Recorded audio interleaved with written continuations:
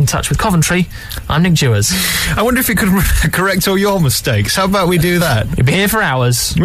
we would, especially if we repeat the 8.30 bulletin. Well, I know. It's, can I just say it's because the air conditioning's not working and I'm far too hot in the Look, studio and I feel like going to sleep. All right, hang on a minute. Right, hang on, hang on.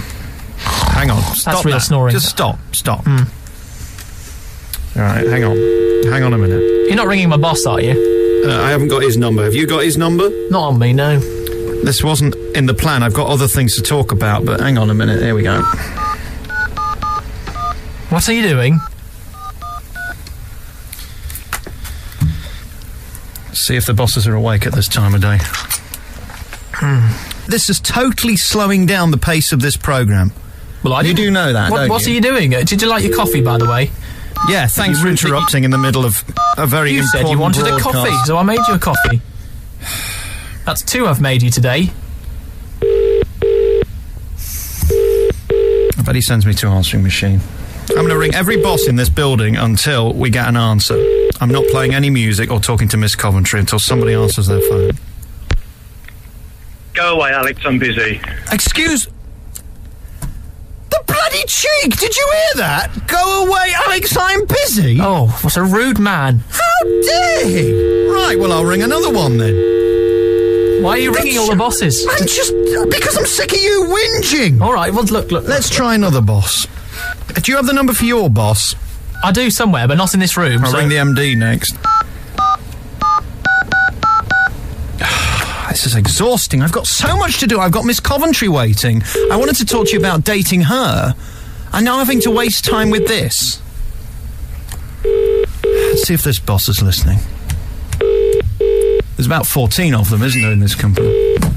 Can you can you bring me your bosses? Hello. Ah, hello. Is that uh, Mr. Donald Douglas? Speaking. Hello, uh, it's uh, Monsieur Alex Belfield, the ugliest man on the radio. We're live on the air at the moment. How are we? Uh, how are you?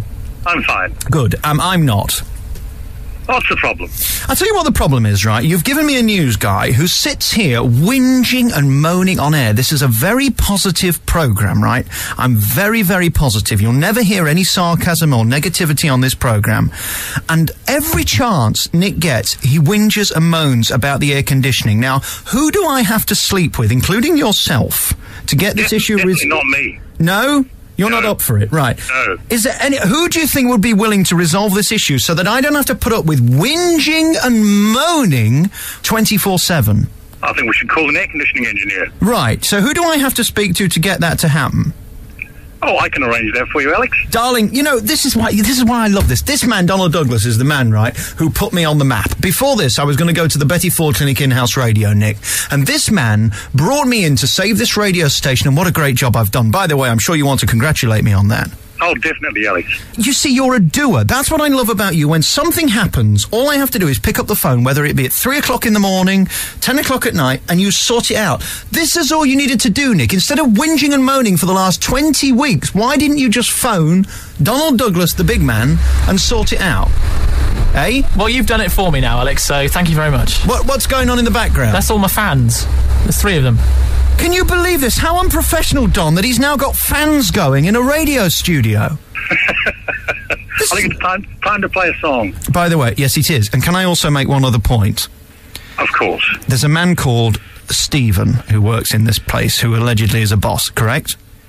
I do believe so, yeah. He told me to bog off. He hadn't got time for me live on the air. Now, I think it's inappropriate. He's a very busy man. I don't care how busy. Who's the most important man in this building, Donald? Uh, By me, of course. No, me! is now open on 80876. The lowest unique bid gets £10,000 cash this summer. So how low can you go?